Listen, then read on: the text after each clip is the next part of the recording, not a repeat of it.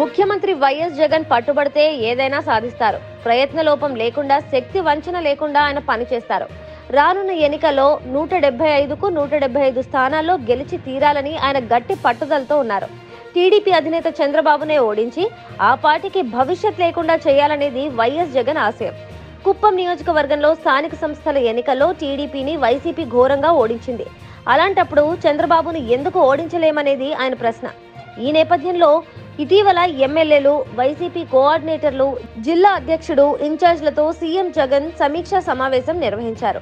గడప గడపకు మన ప్రభుత్వ కార్యక్రమాన్ని చిత్తశుద్ధితో నిర్వహించాలని ఆయన ఆదేశించారు. మరోసారి తనతో పాటు అందరూ గెలవాలని కోరుకుంటున్నట్టు ఆయన మనసులో మాట చెప్పారు.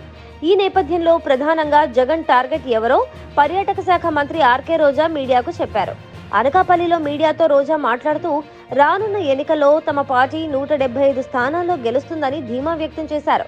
గతంలో వాలంటీర్లు సచివాలయ వ్యవస్థపై టీడీపీ వ్యతిరేకంగా మాట్లాడిందన్నారు.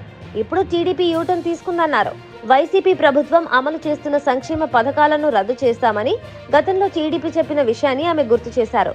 ఇప్పుడేమో తాము కూడా సంక్షేమ పథకాలు అమలు చేస్తామని టీడీపీ మాట మార్చిందన్నారు. కుప్పంలో చంద్రబాబు టెక్కలిలో అచ్చెన్నాయుడు మంగళగిరిలో నారా లోకేష్లతో పాటు టీడీపీ సిట్టింగ్ ఎమ్మెల్యేలందరినీ ఓడించేందుకు జగన్ ప్రత్యేక శ్రద్ధ చూపుతున్నారని ఆమె చెప్పారు.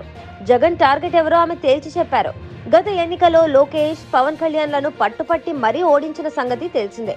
జగన్ టార్గెట్ చేస్తే ప్రత్యేక యాక్షన్ ప్లాన్ ఉంటుంది. రానున్న రోజుల్లో అది ఎలా ఉంటుందో కాలమే జవాబు చెప్తుంది.